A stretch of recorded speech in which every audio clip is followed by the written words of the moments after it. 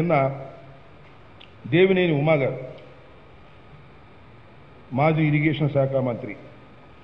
వారు నిన్న press meet పెట్టి పోలవరం ప్రాజెక్టు గురించి మాట్లాడుతూ కొన్ని విషయాలను చెప్పడానికి ప్రయత్నం చేశారు. అన్ని అబద్ధాలే.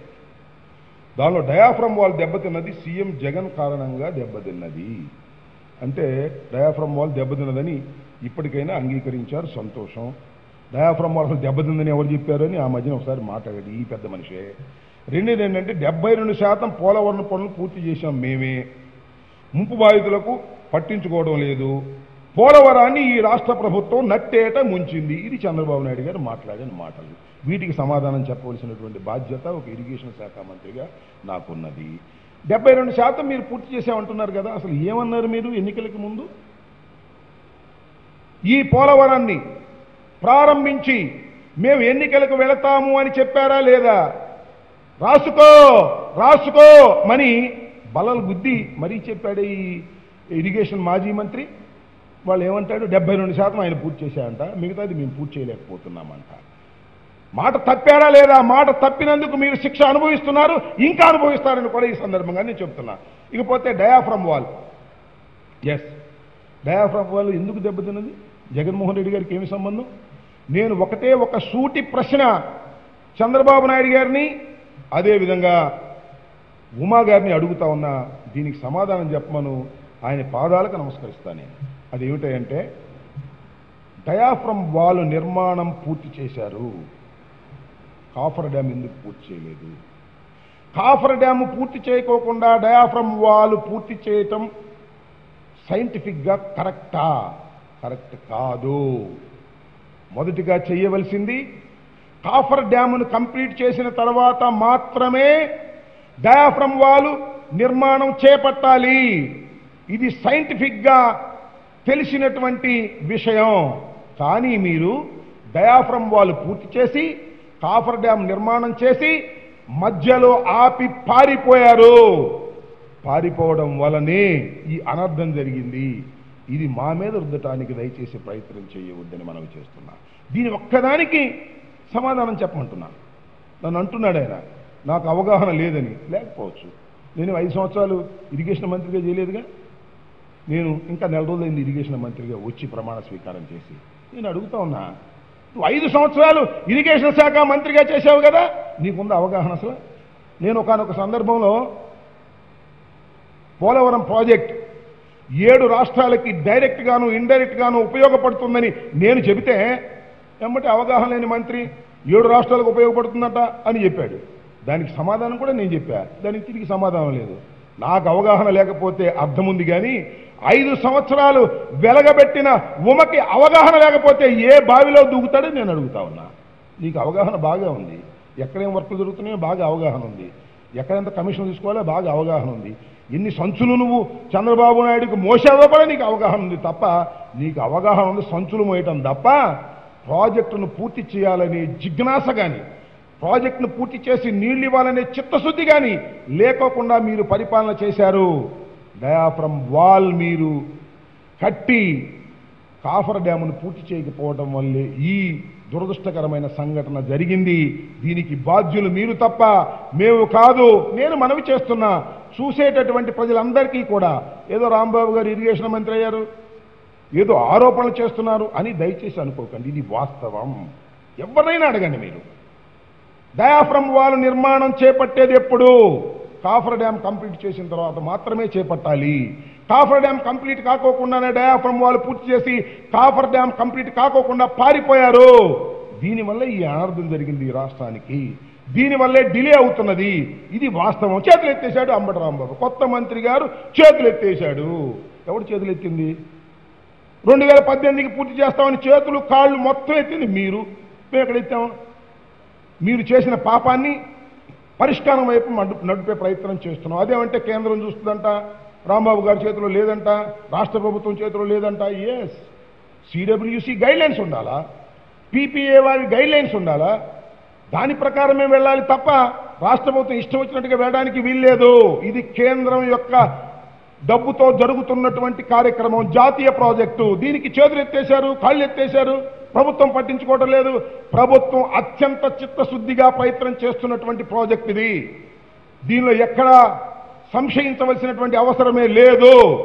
చంద్రబాబు నాయుడు గారు అదేవిధంగా మన ఉమామహేశ్వరరావు గారు చేసినటువంటి తప్పిదాల వలనే ఇవాళ పోలవరం ప్రాజెక్టు ట్రబుల్లో పడింది. దాన్ని సెటరేట్ చేయడానికి ప్రయత్నం చేస్తున్నాం. అదే తప్పుగా మా మీద రుద్దాలని ప్రయత్నం చేస్తే మాత్రం సరైనటువంటి విధానం కాదని ఈ సందర్భంగా నేను చెప్పదలుచుకున్నాను. ఇంకా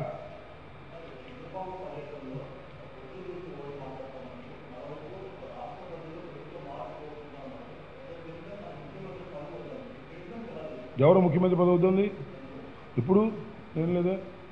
నేను వెళ్ళా ఏదో చిత్రంగా ఉంది. దుద్దమాక ఆయన ఒక గుండె అయిపోతుంది అతనికి.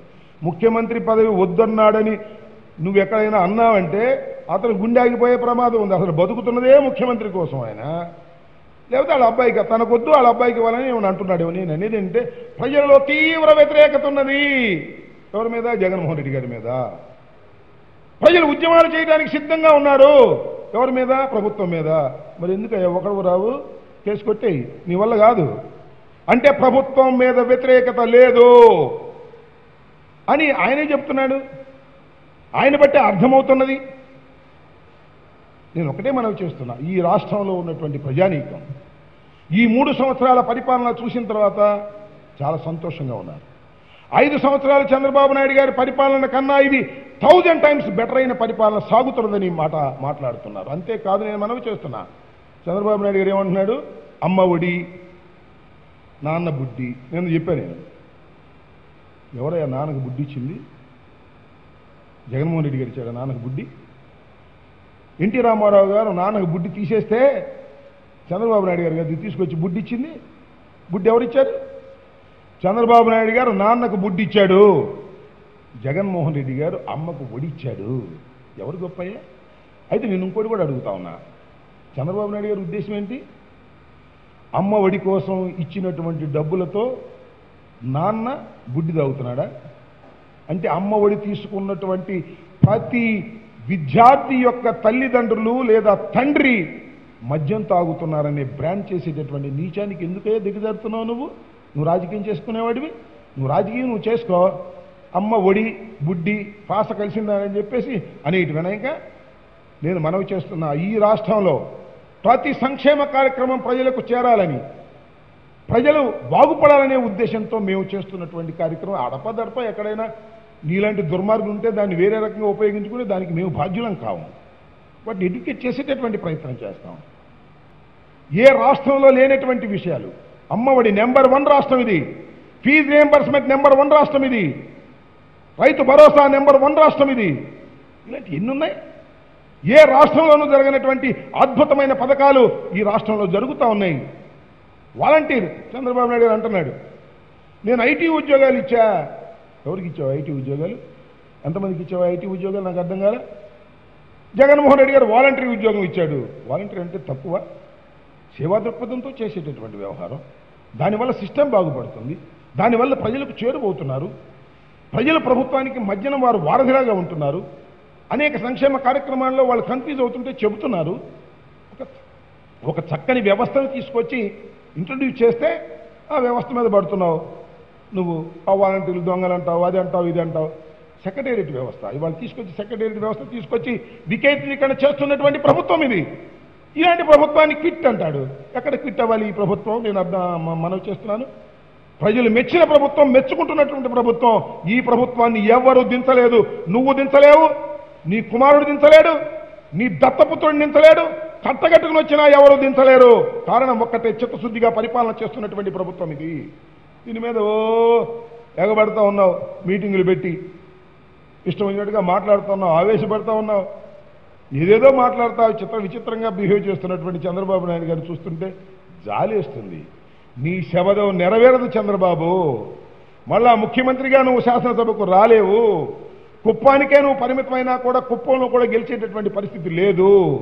జగన్మోహన్ రెడ్డిని సంఘ విద్రోహ శక్తి అంటాడు మరొక మాట మాట్లాడుతా ఉన్నా. జగన్మోహన్ రెడ్డిని బాబాయిని చంపేశాడట. సాక్ష్యాలు లేకుండా చేశాడట. ఏందో అన్యాయం నాకు అర్థం కాదు.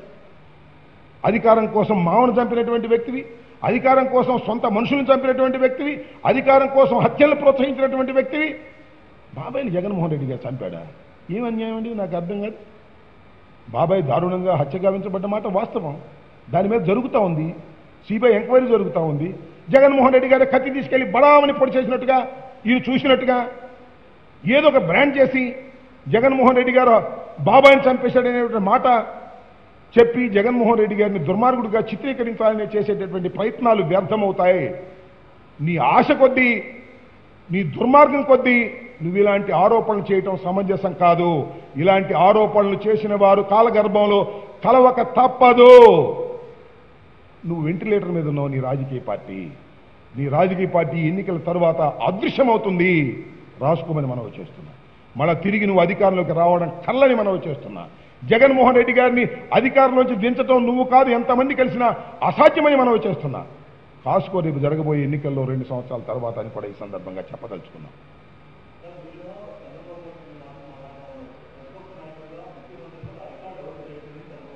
ఆయన రికార్డు ఎవరు బ్రేక్ చేయగలుగుతారు ఆయన రికార్డు ఎవరు బ్రేక్ చేయగలుగుతారు?